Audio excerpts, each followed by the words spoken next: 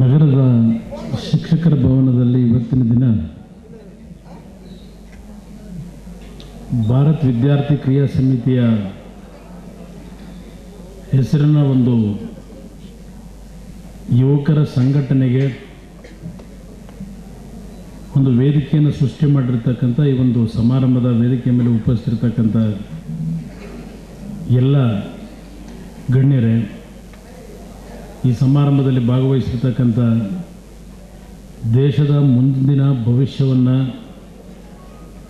ನಿರ್ಮಾಣ ಮಾಡ್ತಕ್ಕಂಥ ಜವಾಬ್ದಾರಿಯನ್ನು ನಿರ್ವಹಿಸಬೇಕಾಗಿರ್ತಕ್ಕಂಥ ಎಲ್ಲ ನನ್ನ ಅಚ್ಚುಮೆಚ್ಚಿನ ಯುವಕ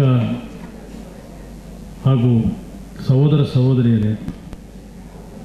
ಮಾಧ್ಯಮದ ಸ್ನೇಹಿತರೆ, ಮಹೇಂದ್ರ ಕುಮಾರ್ ಅವರು ಹೊಸದಾಗಿ ಇವತ್ತೇನು ಈ ಒಂದು ಯುವ ಶಕ್ತಿಯನ್ನು ಸಂಘಟನೆ ಮಾಡ್ತಕ್ಕಂಥ ನಿರ್ಧಾರ ಮಾಡಿ ಈ ಬಿ ವಿ ಕೆ ಸಂಸ್ಥೆಯ ಒಂದು ಲಾಂಛನದ ಅಡಿಯಲ್ಲಿ ತಮ್ಮೆಲ್ಲರ ಜೊತೆ ಈಗಾಗಲೇ ಹಲವಾರು ರೀತಿಯ ಚರ್ಚಾ ಸ್ಪರ್ಧೆಗಳು, ಬೇರೆ ಬೇರೆ ರೀತಿಯ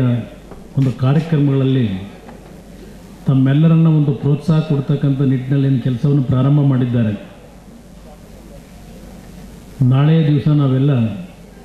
ಈ ದೇಶಕ್ಕೆ ಸ್ವಾತಂತ್ರ್ಯವನ್ನು ತಂದುಕೊಟ್ಟಿರ್ತಕ್ಕಂಥ